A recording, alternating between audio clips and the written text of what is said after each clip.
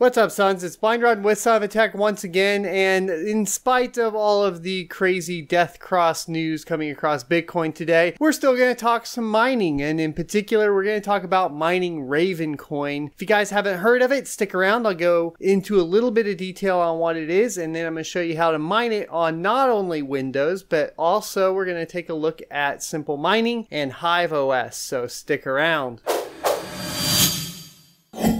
Welcome back. So everybody keeps asking me what I think about Ravencoin. The question comes up everywhere at this point, and it's kind of the miner's saving grace to the crypto crashing and all that sort of thing, and trying to come back up with some sort of alternate coin to mine to go ahead and get your profits back. Now, I don't think in particular Ravencoin is that, but what I do think about Ravencoin is that it's a very interesting project for uh, a couple reasons, and that it has a lot of promise. Now, a little bit of backstory on Ravencoin is essentially it's being developed by some of the original developers of Bitcoin and it wants to bring everything back to the basics. This means you're not going to see any pre-mine or any crazy stuff like that and it's pretty transparent.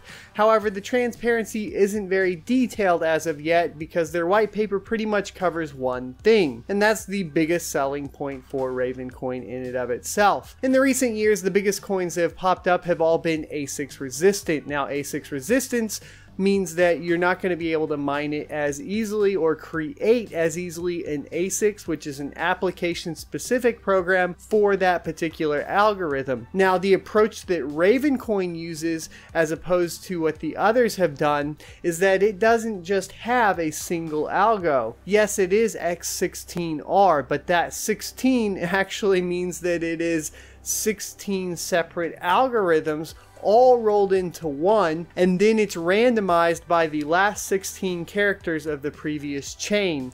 This makes it extremely difficult to program or create ASICS miners for, and therefore is really, really its big selling point here. The other notable things about this particular algorithm is that if somebody did develop an ASICS miner for it, it's very plug and play as far as algorithms. They can remove an algorithm, they can add a new algorithm, or they could just change the order up, making the ASIC uh, once again irrelevant for that particular coin. And so this is kind of the saving grace of a of, of cryptocurrency right now, uh, at least if we're speaking from the terms of the ASICS resistant good old boys with the GPUs and the CPUs, which is notable because what you want to be able to do is bring everything to the consumer base on a general level to where you're not having just one specific company, Bitmain, creating all of the wealth for all of the miners. And this is just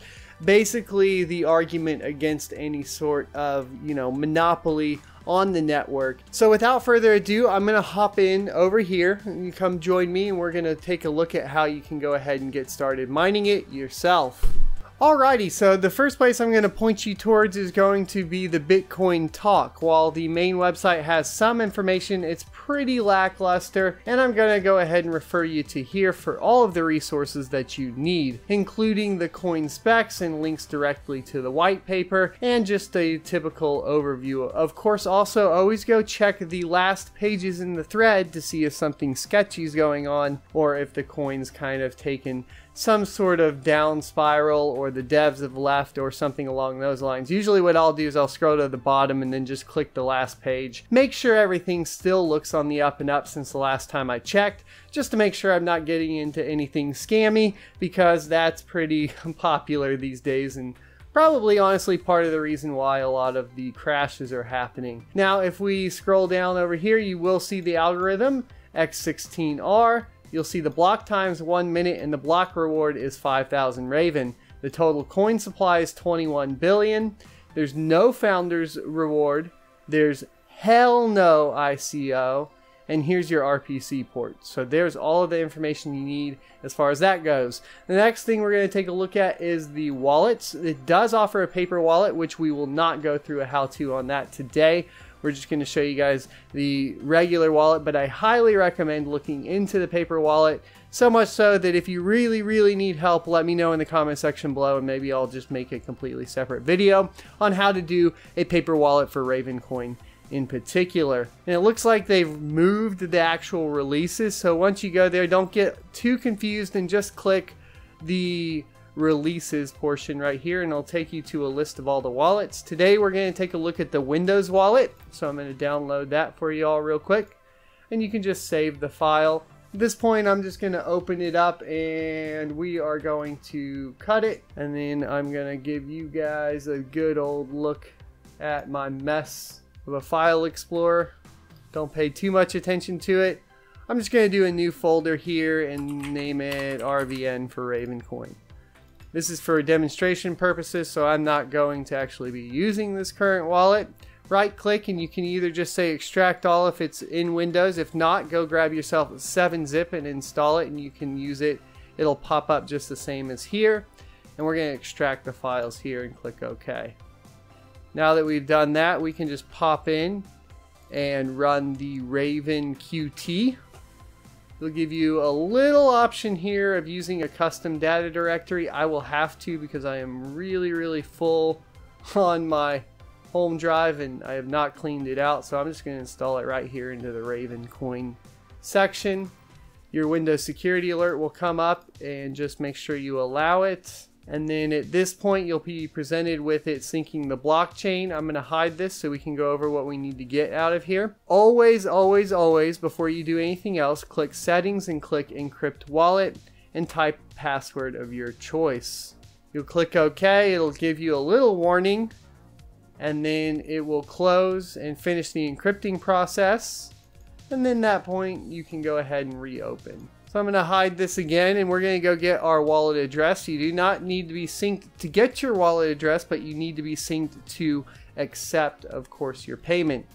I always create a miner or mining label and then just say request payment and it'll give you your address right here. Your address is right in this section and we're just going to click copy so we have it for later. So that is going to cover the wallet. Let's talk about the mining. Since most of y'all are probably on Windows, let's just go ahead and straight hop into the mining portion for Windows. It's going to be the most difficult way to do it if you don't already have, of course, something like Hive or SMOS or Simple Mining already installed. If you need a how-to on how to use Simple Mining or uh, Hive OS. I'll leave links up in the corner for you to check out. And once you go through that process, then you can hop on and get yourself off Windows. Now we're going to go ahead and get ourselves into the CC Miner. I'm going to cut it and once again go to Raven and then I'm just going to, within Raven, I'm going to create a miner folder here. You can copy me if that's how you prefer. And then once again, right click and extract and then you'll be presented with the CC miner, an example batch file, and the README. We're going to be taking a look at the example batch file. If you do not currently have folder options enabled to see these, you're going to want to go in and click show hidden folders and then make sure that you click show hidden files and folders and then uncheck hide extensions for known file types and click apply and this should give us that dot .bat that we need to see. Some people were having troubles with this in a previous how-to, so I wanted to cover that for y'all. And it was not letting them edit. Most likely it was because of this extension. So now that we have that extension visible, we're going to right click and say edit. And this is going to be the batch file that we're going to configure. At this point, we're going to want to go ahead and find ourselves a pool. If you scroll down here, you'll find all of the pool recommendations. I'm currently on this Mining Panda site, so we're going to go ahead and use it again. It's a very simple uh, YIIMP front end. The only problem with the YIIMP front ends is it does appear for a lot of people, we had a lot of trouble keeping it up and running, and a lot of people do go down often, so make sure it's a pool that, you know, has been up for a little while. This one's been up for long enough and has been working for me that I'll go ahead and recommend it. And what we're going to be looking for here is all of the information to go ahead and start mining. What we want is going to be the website. So we're looking for this stratum. In particular, we're looking for the URL here. So I'm just going to right click and copy, go back to my batch file and paste it in right here. The next thing we'll need is the port. So if you actually come on over to the right side, you'll see the X16R and then you'll find the port right below there. So we're going to right click and copy that. And the port is going to be after the colons right here, or after the colon. Make sure if it adds any unwanted spaces, you remove them. The next section is dash U, which is going to be your wallet address. So let's go back to our wallet. We can double click here and click copy address. And then once we've copied the address, we're going to come here, highlight that, and just paste over it.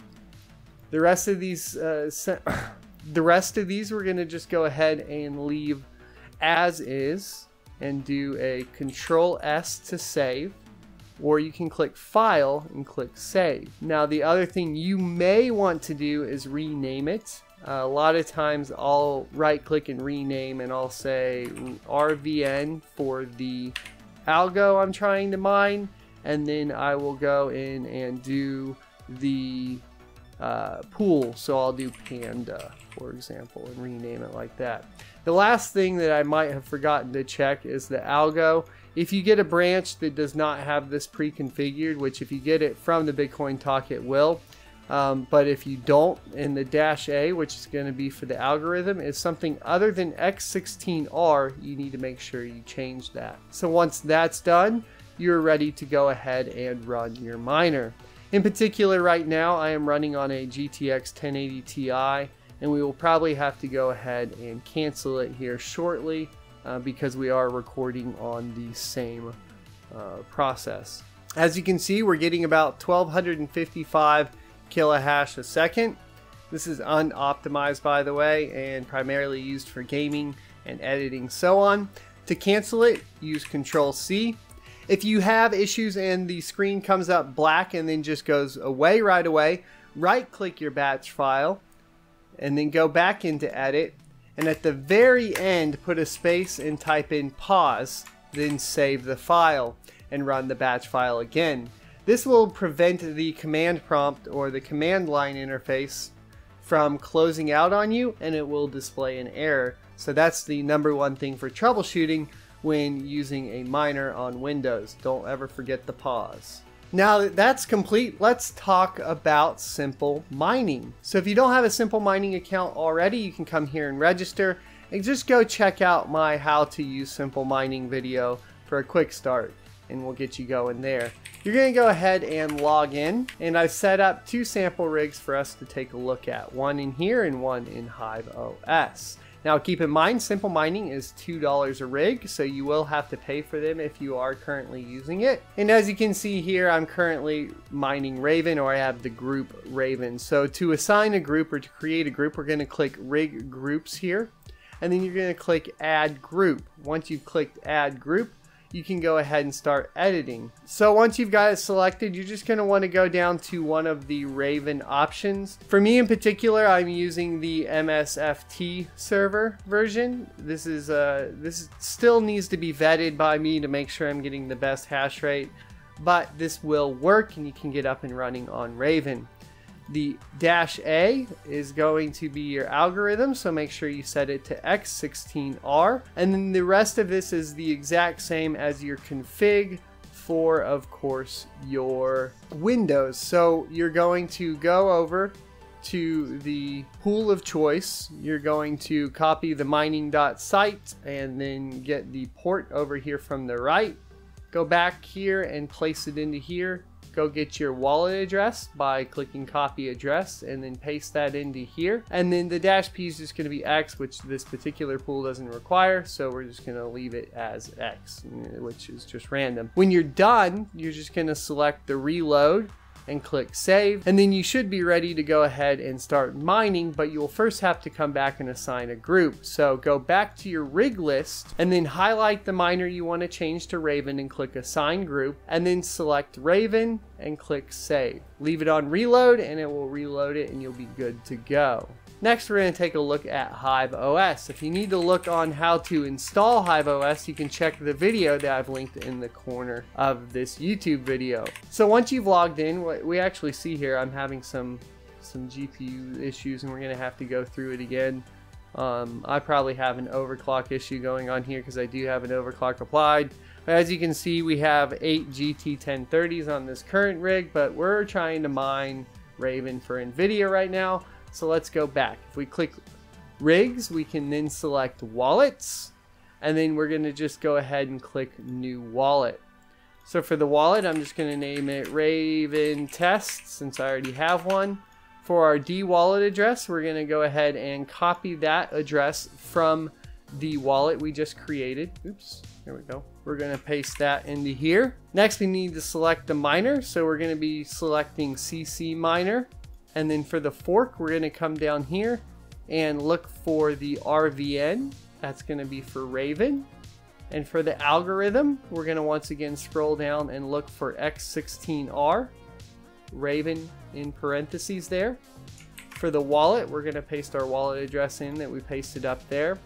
For the pool URL, we're going to come back here and we're going to grab this information again from the pool site. So just right click and click copy. Come back to our wallet, right click and click in paste. And then we also need to add the port. So we're going to find the port once again. For this particular one, we're looking at 3636. We'll come back here and paste it right there. Remove any spaces if they come in. And then that's to be our pool URL. Next, we're to put in our paths, which is just to be X. We can select an overclocking profile if we'd like to assign one to this particular one. I'm not going to, and we're going to cancel out of this, but you would click OK, and then you're ready to go as far as the wallet configuration. Now there's one more step. You're going to have to go back to rigs, click edit on the rig that you want to change. Make sure you select the miner CC miner for NVIDIA and the wallet Raven. Click OK, and you're good to go. And then next you can go ahead and just click on the rig and make sure it is mining what you think it's mining. As you can see here, we are looking pretty good. Like I said, it looks like a couple are dropping off. And then if you need to go over more information like how to overclock, I have videos up on those as well that you can go check out. So to check your stats, all you're going to do is go and copy your wallet address again and then paste it into the search wallet and click submit. At this point, you'll be able to see what your balance is, what your total unpaid is, so pending balance and total paid.